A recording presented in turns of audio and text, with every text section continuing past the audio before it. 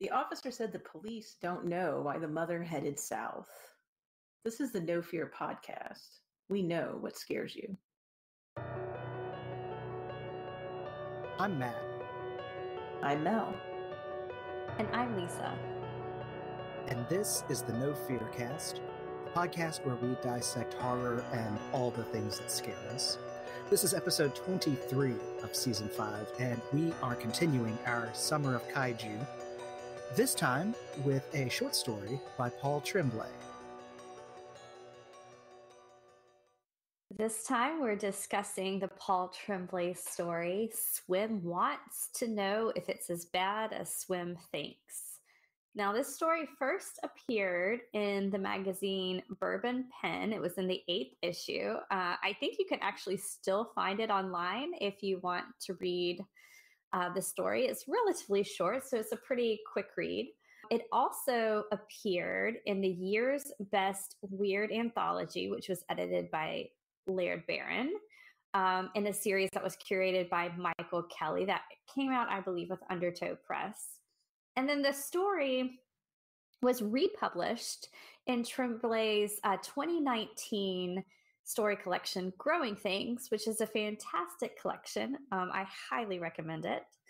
Um, in Growing Things, he actually includes in the back of the book notes on all the different stories, which I must say one of the things I really enjoy about short story collections is you get to usually uh, get some notes from the author on, you know, what was going on at the time they wrote the story or what they were thinking about or what they were influenced by. And in the back of this, um, in the back of Growing Things, Tremblay talks about what uh, taught what he uh, was inspired by for this story.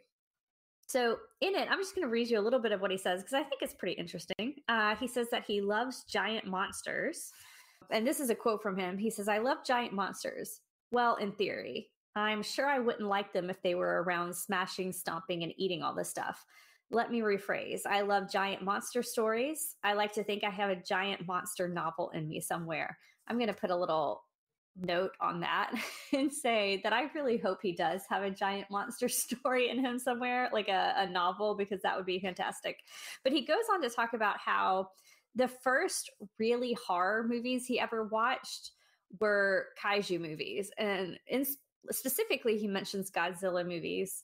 He said that there was a local channel that he used to watch growing up that on Saturday afternoon would show creature double feature programs. And the first movie would almost always be one of these kaiju movies. So through that, he watched things like Godzilla, Rodan, all this killer shrews, giant leeches. These are some of the ones he lists. And then he always says the second movie would be a non giant monster horror movie. And that one would always be the one to give him nightmares. But obviously, these kaiju movies, these giant monster movies, really made an impression on him. And so he wanted to tackle writing one into a story. And it fits really well with what we're talking about. I think, in particular, us, um, since we've been looking at the development of kaiju, really, we've started with Godzilla and we watched Mothra, and then we've watched some newer ones like Colossal in particular, I'm thinking about. Um, which that movie really works well with his story. Swim wants to know if it's as bad as Swim thinks because the monster kind of works as metaphor. Now, in this story, it's not as, I think, clear cut because what's happening in the story is happening alongside a giant monster invasion. But there are some similarities. So I'm going to stop talking about kind of the publication history of this story. I'm going to throw it over to either Mel or Matt just to get their initial thoughts on this story. Well, I guess I'll go first. I read the story, I think, right after I got the collection Growing Things. I ended up reading it from Growing Things and not the Bourbon Penn website. Um, and it was very memorable to me. I mean, there's a few memorable stories in this in this collection, but it was one of the ones that kind of stuck in my head because of the kaiju aspect. I remember just kind of being like almost delighted that this could be a giant monster movie slash story. So that's my first impression. Is just I thought it was cool that I'm reading this short story and it's kind of like a kaiju story. But reading it this time, after we talked about Colossal, I think you're right, Lisa, to point to that one because in that one, you know, you have a woman with with alcoholism, substance abuse issues, who finds out that her behavior is connected to this monster. We talked about how it's the idea of managing the monster within yourself.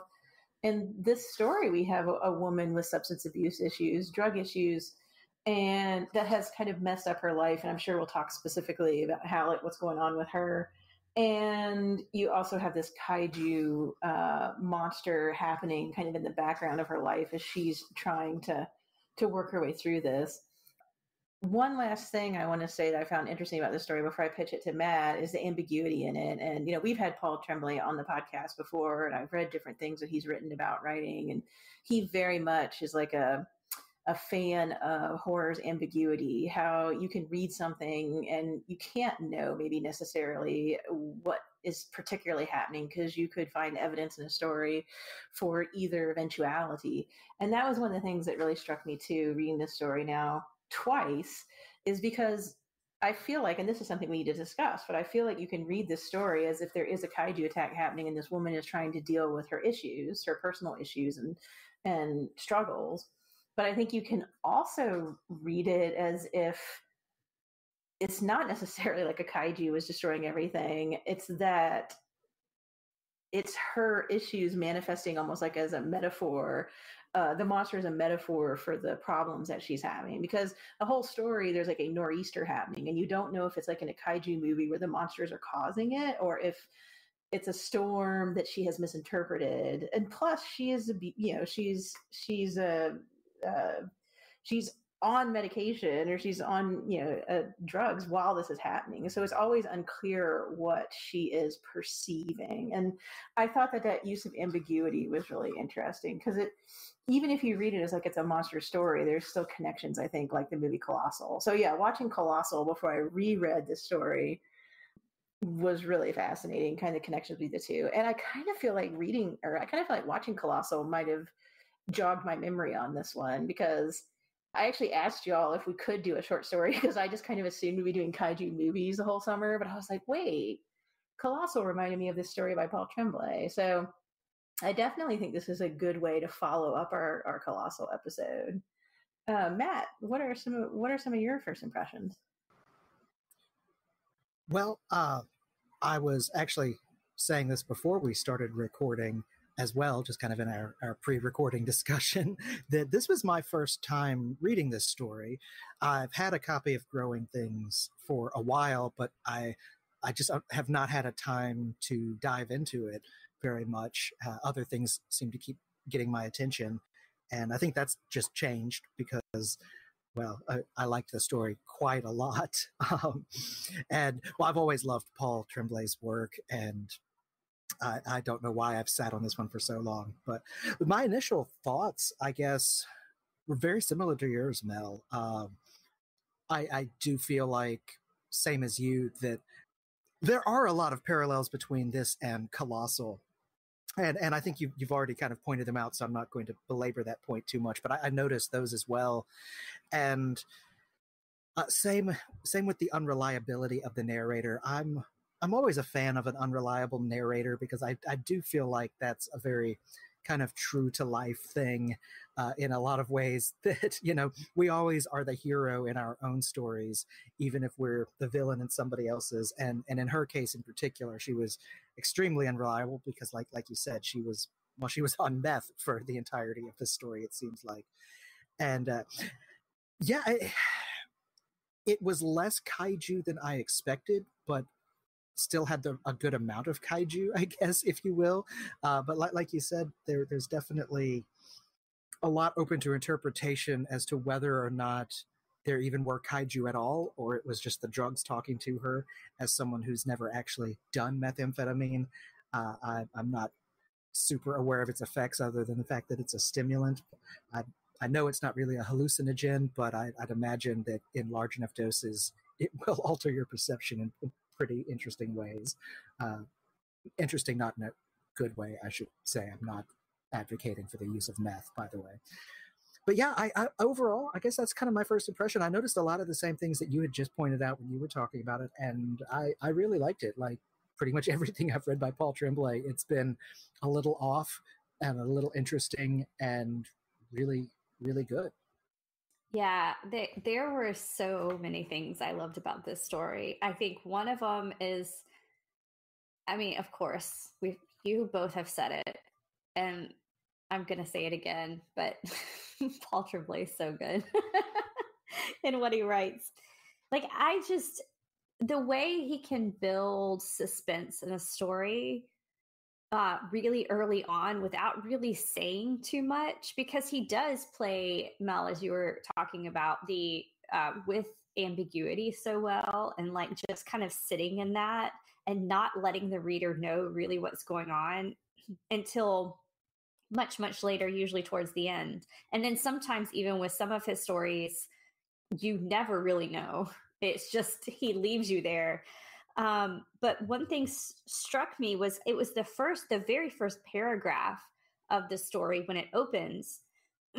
So it opens and you know something has gone wrong um, because by the end it says that they the end of this little opening that they had made the tv news and the papers and like there was a there were police involved and that's usually never good. But um it talks about somebody being on the road like on a road trip but then there was one sentence and it says the trees had orange leaves when we started and green ones when it was over and I just remember kind of sitting there and like taking in that sentence and thinking, man, like he didn't tell us anything really scary or horrific in that sentence. But I am so unnerved because I want to know what happened. Either that they drove a really far distance or they were driving so long that the seasons changed. And either way, I'm really unnerved. like it's just, I don't know, it's just the way he can kind of construct the ideas and the syntax that is just unnerving. Or maybe it was just because I knew I was going into a Paul Tremblay story, so I was on edge. But um, we do get the story from the bomb's point of view, and as both of you have said, she's she is impaired, so we don't know how much we can trust. But even then, as we're unraveling her character and learning more about her, I still didn't know where this was going. I had never read this story before. I have growing things. I, I, bought it as soon as it came out, but I'm one of those people. I never read story collections in order. I always kind of bounce back and forth between the stories, which probably really annoys the authors to hear that. because they put them in order for a reason. But, you know, I'll just, I'll kind of go through and pick the ones I want to read. So I hadn't read this one yet. But really, we don't know too much. We know that there was some sort of incident where the police were involved and, and it was bad enough that it made the news. And then we know that the mother has a daughter. Uh, we learn later it's it's an eight year old named Julie. And but how we learn this is that we meet the soccer coach. And I thought this was a really interesting interaction because it gives us a lot about the character. So you meet Brian Jenkins, who is the youth soccer coach. And she's she's looking at him as he's buying oranges. And she said, or she's thinking, oh, I, I guess he's going to take those to the game and cut them up and and the give the oranges to the soccer players which right away kind of signal, signals to the reader that something isn't right because the mom isn't going to the soccer game. And she says um, that he can barely look me in the eye. So again, it's okay, this is not a normal interaction between the mom of an eight year old and the eight year old soccer coach. And then she says, I never signed up to be their boogie woman. And that, again, really struck me because I knew this was going to be a kaiju or kaiju adjacent. I knew there was going to be a giant monster in, of some in some way because Mel had suggested it. And as soon as I read that line, I was like, "Oh, is is this going to be like an instance?" And Colossal was kind of on my mind too, where I was like, "Is this going to be, you know, something where maybe the mom turns into a kaiju?" Or maybe she's connected to one like psychically like in colossal like what what is going on here but just that fact that you know, she calls herself kind of the town boogie woman and that everybody seems to know who she is and like they want to stay away from her. I don't know. I just I thought that was a really interesting way to introduce us to the main character in this type of story. Of course, then we learn later that she does have issues with meth and specifically there was a reference to Yaba which I had did not know about. I had to look it up when I was reading the story and apparently it is you know, crystal meth in tablet form. So it's caffeine and methamphetamine that you ingest in some sort of way. You either like smoke it or in this case, she talks about um, because she's part of this like online message board, and she asked if it's if it's bad to um, eat it on an empty stomach. So we're supposed to assume, I guess, that that's what she's doing. But apparently, when I looked it up, it's called the madness drug. So that that's kind of another name for it. So it it is known for being, I guess, hallucinogenic and causing. I mean, I guess in like madness when people use it. So that just adds to it. You know, like right right away. But that doesn't. We don't even get that until probably about halfway through the story we just are, are kind of given pieces like little breadcrumbs about who this woman is but we know something's going on with her so yeah i don't know i thought that was a really really fascinating way to construct the story and i thought it was really well done yeah i like the bits and pieces that we get about her as the story moves on because we know that everybody in the town is judging her because something has happened i mean another thing I love about Paul Tremblay's stories is that at times he'll use kind of like postmodern collage techniques, and so you just get all these fragments, and you have to kind of put it together. And he he does that here. It seems like to me that Julie was taken from her probably because of her addiction, and then there was the incident we find out later because she starts to get past and present confused, and she's like talking to Julie when she kidnaps her about or takes her for her own safety. We don't know um, about when she was a child. And apparently there was an incident where she like used a knife to take Julie away from her mom, Julie's grandmother. And then we find out that, you know, she we know she has a handgun with her when she goes to get Julie this time. So we don't know what she did to Gran, as she's called in the in the story but there's these little crumbs and bits and pieces like even in the beginning where you're not sure why everyone's judging her she admits that even though she's supposed to stay a certain distance away from julie and her mom she goes and tries to watch the soccer games from a distance uh, she talks about walking around the block and hearing things from inside Gran's house. So that's definitely pretty close. She's afraid that the soccer coach is going to yell at her and call her out for being too close to Julie and you know toward the end of the story when we find out that she's been in the house across the street or a little ways that she used to run away to when she was a kid she talks about how she practiced everything which was really disturbing to me because up until that point you're like oh she knows they're giant monsters and she wants to rescue julie. And then we realize that she's been living in that house watching them and she says practice practice practice practice makes perfect. And so you get these little like every time you start to like trust her, you get some sort of jarring realization that her paranoia is heightened, or maybe she's hallucinating, or what the heck has she done before? And I thought his way of like doling out those little bits of information just made her such a complex character. I mean, that's what you do when you're writing a story, right? But I like that kind of fragmentation of narration, which, which mimics kind of her fragmented mind she even talks about there's two of her. When she's high, it's the someone who isn't me who does things while she is blacked out. So that's why she calls herself Swim when she thinks she's doing things that she wouldn't typically do.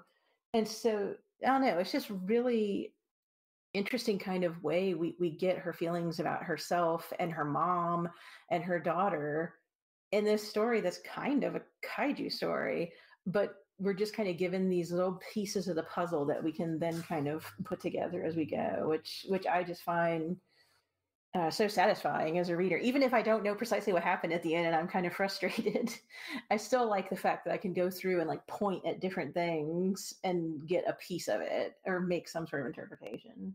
Uh, yeah paul tremblay if you're listening to this since i know you have had us on or I know since we've had you on this podcast once before, I just want to say I, I echo Lisa's sentiment about wanting to see a full length kaiju novel in your hands. Uh, we've already seen a zombie novel and a possession novel, and I've loved both of them. So please, please, please do a full length. But I, I just wanted to say too that uh, no, I, I like what you're saying, Mel, about the the postmodern collage of, of kind of doling out information, but we kind of have to work a little harder to put it together. And I, I mean, I honestly feel like having never been a drug addict, it's hard to fully imagine what that must be like. And so I, I can't I can't speak to the accuracy of this from from a you know a truth perspective from uh, from from someone who's actually lived it. But uh, I can only imagine that uh, having I do have family members who have gone into AA, and they have mentioned that there is sort of that you know sober version of you and the drunk version of you. So that that kind of really resonated with me too uh, when when the narrator is talking about that uh, the the someone who isn't me when she's when she's high. That really kind of struck a chord for me, and at the same time, yeah, it kind of made me doubt her even more as to the truth of what was really happening because like you just said there was that really disturbing moment of when she says that she's practiced this before. But then also and I, know we're getting kind of towards the end of the novel and i don't want to jump jump straight to the end but the the kaiju or the nor'easter or something at least from the perspective of of her destroys the grandmother's house and Julie is you know screaming and upset and worried about her grandmother screaming you know about Gran, and so that gives me at least enough cause to think that Julie sees it as well. But of course, we don't know what actually caused it. But you know, there was a part of me that was like, oh well, this may have the unintended consequence of being a good thing for the daughter for Julie, but if the mother has been practicing this and secretly sort of living and watching from this empty house that's being renovated. I mean, that's really disturbing, even if she did inadvertently save her, her daughter's life. I mean, she was trying to sort of, but it seems like she, like, well, like you said, she kind of planned something for, for taking her again. And that, I don't know, he just did a, such a great job of, again, with the ambiguity, but also not just the ambiguity, the, the tension of it of not really knowing her motivations because I think at some level she didn't fully know herself. You know, she was she was kind of seemed like she was acting out of more impulse and intuition than she was true like fully formed thought. Is, is that making sense? No, I think that makes a lot of sense because she even says at one point, I think it's when she's on the message board, she says she can't stay long and be on the computer because she has to go to the house again tonight, which we we find out, like you were saying, Matt, that's the the partially renovated house that she goes to and watches Julie. We don't know that at this point, but she says that, and then she says, "I have no choice. Living without choices is easier." And I do feel like there is this like paranoid impulsiveness, but there's also this like she's besides the fact that she isn't herself when she's high she also her her internet handle is not really here. She says she feels fated to do certain things. I think there's this she's kind of in this place where she feels like she has no choices. Like no choice is going to get her back with julie or no choice can get her into a you know a better relationship with her mother, which we assume was not great even when she was a kid. Um, yeah, I definitely think that idea of her like feeling like almost slotted on tracks to do these things till she gets to the end where she's like, you know, her Julie's obviously scared, and I I think there's an implication that she's also she's scared of her mom in addition to being scared of whatever is happening outside. And it's almost like we were fated to get there from the beginning because of that intro that Lisa talked about, where we know that this has happened before. This idea of like, this is just how it's got to be, and this is what I have to do. And I think that's also really disturbing as well that she's gotten to the point where she doesn't see a way out other than whatever this is and she has the gun which is also an extremely disturbing touch because we we don't know what she's done with it at this point we don't know what she will we're not sure what she will do with it yeah the gun is one of those things that i want to return to because it it kind of haunts the story a little bit. And anytime i mean well number one anytime you're in a paul tremblay story you know bad things are coming. So yeah i right away. But but but also you know when you're reading a short story when a, a writer plants a gun it's going to come back into play at some point. So i do want to talk about that but first, I kind of want to talk about since this is a kaiju story, or like at least influenced by, or this is his take on that line or that like genre of story, this kind of giant monster. I think we've done a really good job kind of describing the main character's mindset throughout. And I, and I like the way y'all have been talking about her as though like she is she does feel like she's two people in some sort of way because of her addictions and the the idea but even even beyond that the idea that she feels like she doesn't have a choice in the matter and that she's somehow fated to kind of go through and and act these things out. And also just that she doesn't have a grip really on what is happening in the past and what is happening in the present because she kind of goes back back and forth through that but I, I want to talk about the the first time we see the the giant monster, and I'm using kind of air quotes around the word "see" there, because what we actually see on the page is a news video. So she is at work at, at her grocery store job, and she's with her coworker Darlene. Now she's already complained about Darlene about how she doesn't like working with her because Darlene will often like work on her line and bag her groceries, but Darlene is slow and slows her down and she doesn't like working with her.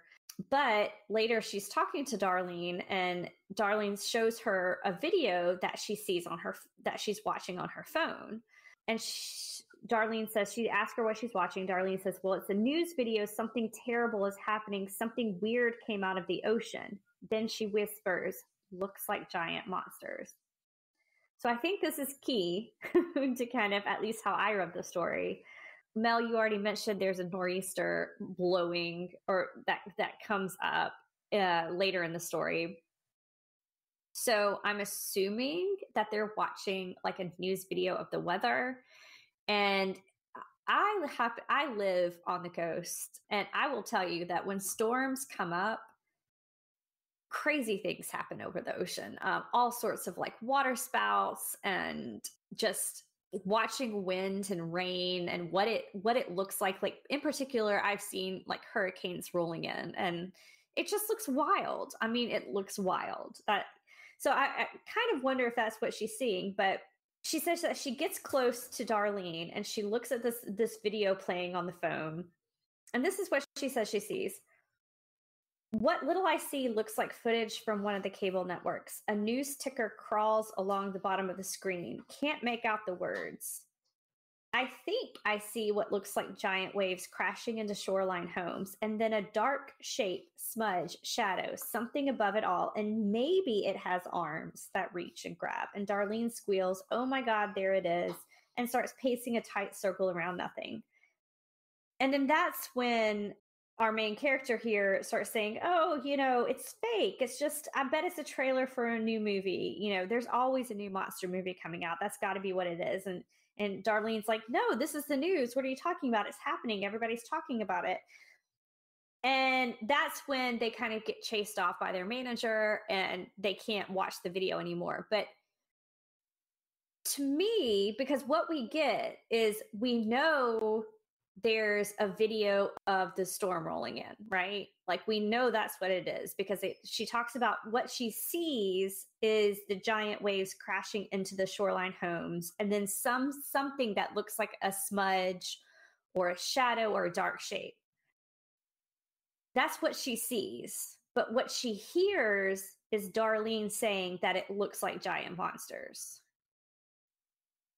So again, we're living in ambiguity here because we're in a Tremblay story. but either it is a nor'easter rolling in and it's like maybe water spouts over the ocean or something, you know, kind of weird and strange going on with the wind and the waves and the water.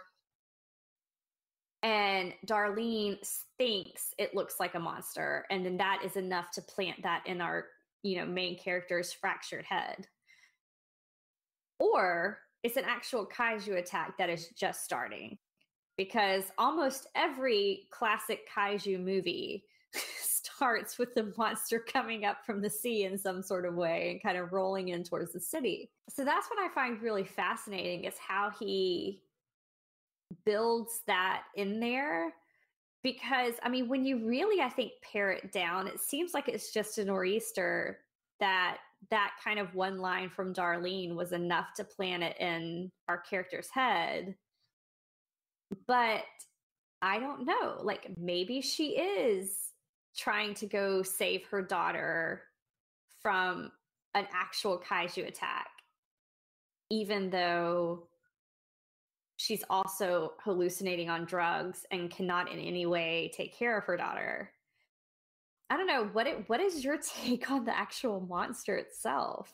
Well, rereading it this time, when I read that part that you read where she's with Darlene, I'm thinking, oh, yeah, this must just be the storm. Because, like you said, there's so many words that indicate to us that this is uncertainty. And she doesn't quite believe Darlene at that point, which I think makes it really difficult, as Matt mentioned earlier, to know what is even motivating her to go get the daughter like we hope it's because she's a mom and wants to protect her but because of all the other stuff we talked about we don't know if maybe this is just like happening at the same time. A little bit later in the story when she's with julie in the other house she talks about how she so i think it's when she's at tony's house and then here she hears like this rumbling which kind of reminds me of like the the the boom boom like when things are uh, you know godzilla's coming right? And so she goes outside and she says the world sighs breathes and it's so loud it's like a whale reaching in my head. Then she talks about how trees are falling, which if you're in a nor'easter with a lot of snow and ice, I could see that happening, though it seems, you know, it is very localized here she talks about she hears sirens. And then she says, in the world sighing stuff, it isn't just in my head, you know. And that disturbed me because on the one hand i feel like i'm in a kaiju movie because you got rumbling banging and this weird like breathing of a large animal but she begins by saying she feels like it's in her own head and then she's like no it's not and i'm like is this person reliable that's my main question and then she talks about how the monster destroys gran's house and she sees she sees the fog coming from the monster's noses apparently because she says there are three no four separate clouds from walking smokestacks. Holy christ it's darlene's video. They're here and they're walking and breathing somewhere above everything. And then she talks about how the house is falling. But like matt said earlier we don't know for sure what's happening to gran's house and then she describes them as giant shadows, again, and not a very concrete word, but with giant boulders attached to giant arms or giant legs. I don't know which. And they pile drive into the house, smashing the chimney and walls, glass shattering, wood exploding, and always those white plumes of breath above it all, breathing slow but loud and constant, like they'll never stop. And like Matt said earlier, we do have Julie screaming, so she must see something too but we're still in our unreliable narrator's head. So even though I want to be like, yes, this is a kaiju story, I still find myself pulling back a little bit and wondering because we still are getting some of those words that you mentioned earlier, Lisa, like shadows and you know, and it's like. And obviously, let's say we're in the real world and a kaiju attack happens, it would be difficult to describe from the ground precisely what's happening in the dark. So, you know, I want to give her that benefit of the doubt. But if she's impaired in some way, I just don't know how trustworthy she is. And then at the end, she kind of identifies the monster with herself because she says they're going to ride the monsters out of town, basically. So I don't know. I, I, I want the monsters to be real, and I can find some evidence in the story. I think that they could be, or at least something weird is happening. But at the same time, I'm like, this isn't this is an unreliable narrator. And if you read the language really carefully, it doesn't give you a lot of purchase. It could go either way, depending upon whether we can trust her at that particular moment. Because the only thing Julie says to her the whole time they're together is, "Do you still have that gun?" So Julie doesn't say, "Oh my God, I saw a huge dinosaur tearing up Gran's house." So it's really difficult to say what's happening. Yeah, I think the, the when I read it for the first time, I was kind of on the side of, "Oh, this is a story about a meth addicted woman trying to save her daughter from a kaiju attack."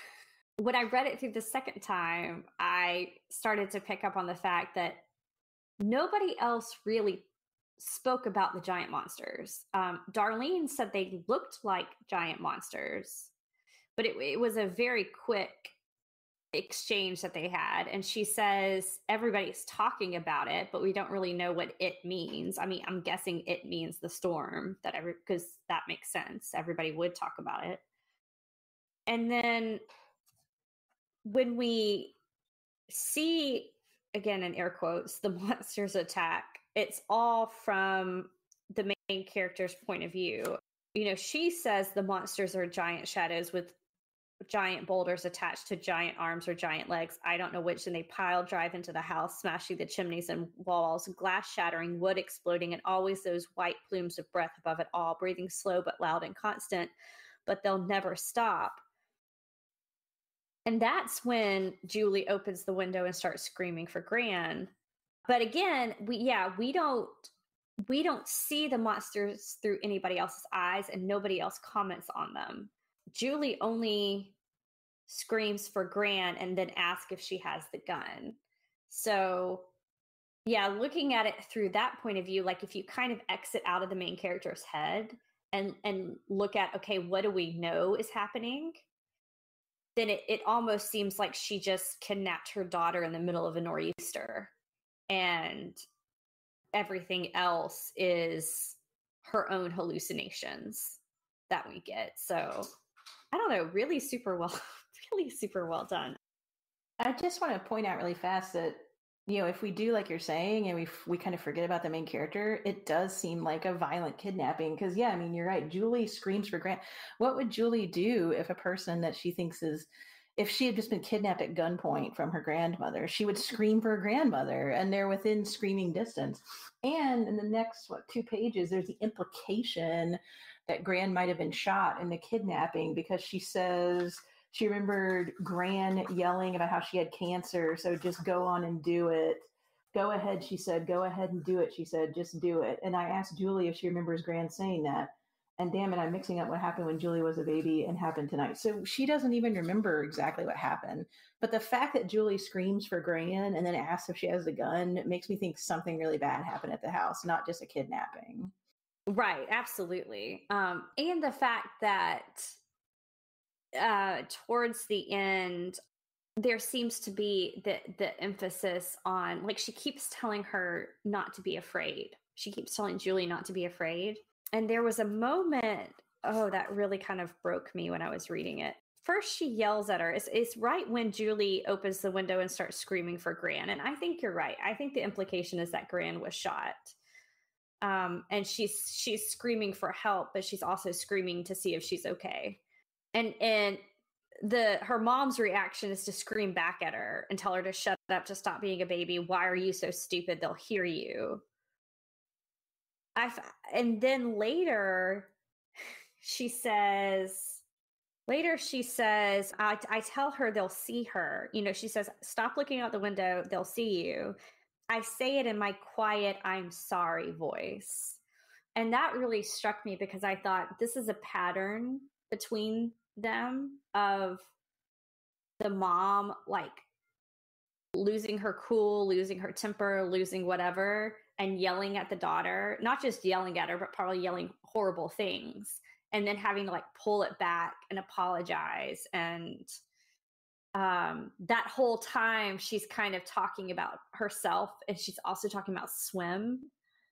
So it, it again, she's like balancing these two parts of her personality. I don't know. It was really, um, that second time reading it, the abuse really, or the pattern of abuse that I imagine has happened here, really stood out to me and really struck me. And and then just just the fact that she talks about wanting to like she keeps telling her daughter there's nothing to be afraid of. Like obviously the daughter is terrified.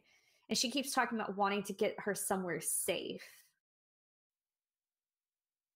And then she references towards the end that ride that they started with. She says,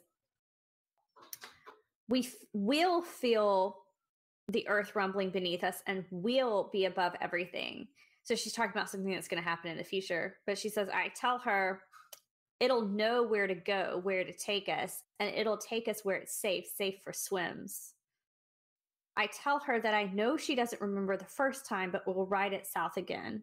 The monster will follow the dotted white lines, and instead of trees lining the roads, there will be all the rest of the monsters destroying everything else, watching us, leading the way south. Not sure why south, swim south, but maybe it's as simple and as stupid as that's where everything is green because south isn't here, because south is as good or bad as any other place. And that's when the police show up.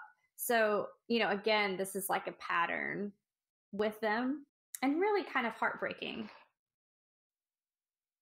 and I don't think that the the police would show up with their flashing lights pounding on the doors in the middle of a kaiju attack. But yeah, when they do sh- show up, Julie's yelling and crying. And then this is where it really kind of hits home and he just kind of pulls us out of the story really quick.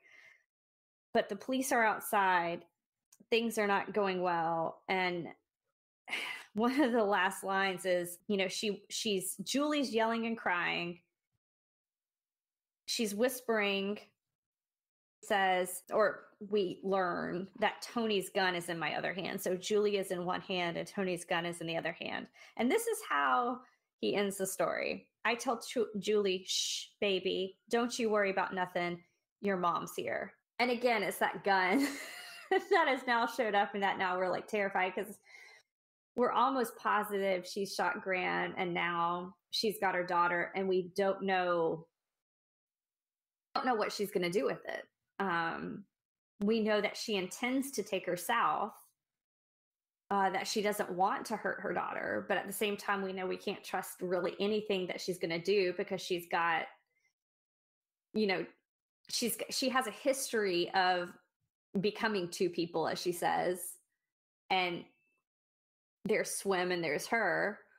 But yeah I'm, I'm kind of with you mel. The more i read this and the more i kind of look at everything it just seems like we're he pulls us he tells us the story about a kidnapping.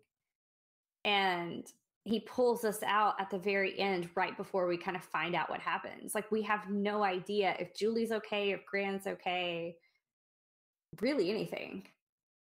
Which is frustrating, but also kind of wonderful. it's one of the reasons I enjoyed the story. Yeah, it's really well constructed, and there's even if there's even a few ways to look at the end. Like, I mean, I feel pretty badly about the end because she's just gone completely. Uh, this isn't the correct t- technical term, I guess, but like disassociated. Because before she drove south, now she's talking about the monsters, and I, I don't think the child is safe, or she is safe, or the police are safe, or any, whatever's going to happen next but that I think the end kind of um, juxtaposes Swim and her, like the person she's not and the person she is. Because in one hand she's cut, uh, holding her daughter, and the other hand she has a gun, like two different people almost. And the end, she's like, "I tell Julie, like you said, to you know, don't worry about nothing. Your mom's here." To end on that is terrifying but at the same time there's all it's like is it that the mom is back or is because up until that when she's talking about the monster she keeps talking about swim will do this and this will be safe for swims So I don't, I think even the end plays with that idea of we don't know precisely who we're dealing with. Are we dealing with whoever, because I don't think we ever get a real name, whoever this woman is as a mother, or are we dealing with her as the swim? So it's like, I guess what I'm saying is, has the mom come back at the end and this isn't going to be good, but maybe the absolutely terrible thing we think could happen won't happen? Or is it like you're saying, Lisa, it's like horror all the way down where she's desperate and she's impulsive and we have no clue what she's going to do. But I definitely think we see the tension and conflict between her two personas, in quotation marks there at the end, with the child on one side and the gun on the other. Um, and and there's no, there's not really any good way that this could this could end, basically. So I think now that we're completely terrified and depressed, that might be a good way, a good time for us to stop talking about this story. I feel like even though we've talked about the end, we could like go back and forth on so many other things in the story as well, and we don't want to go over our our uh, typical runtime. So we hope that you enjoyed our discussion of this story. We hope that if you're a fan of Paul Tremblay and you haven't gotten to this collection, you check it out. Or maybe if you haven't read any other Paul Tremblay and you're interested, maybe check out the short stories as a way to get into his work. I just really enjoyed reading this, I'm glad we were able to work it into our summer of kaiju. So, if you do read this story, or if you're aware of the story and you're like yelling things at your uh, uh, radio or iPhone or whatever it is your computer listening to this on, because uh, you have things to say about it, feel free to contact us and let us know what you think. We're at Know Fear Cast on Twitter and Instagram, and we have a Facebook page. We also have an email, so you could send us an email if you would like um, about this episode or our Summer of Kaiju. And our email is knowfearcast at gmail.com. If you really enjoy what we're doing, please consider supporting us on Patreon, where you can get access to exclusive content. So for $5 a month, you get access to many episodes in between weeks of our main episodes where we maybe go into a little bit more detail about something or talk about something that might have been a tangent in a main episode. But we completely understand if that's not financially possible right now. You can always simply rate and review us on Apple Podcasts or wherever you get your podcasts, wherever you listen to this. And that is entirely free and it helps other listeners to find us. As always, theme music by Nicholas Gasparini. Thank you so much for listening, and we will be back in two weeks with a brand new episode.